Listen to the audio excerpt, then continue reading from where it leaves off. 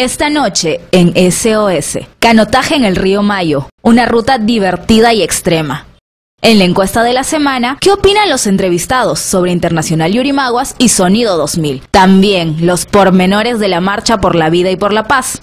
Y en el bloque de espectáculos, revive la controversia entre dos conocidas conductoras. No te pierdas SOS, minutos antes de las 8 de la noche, solo por Antares Televisión.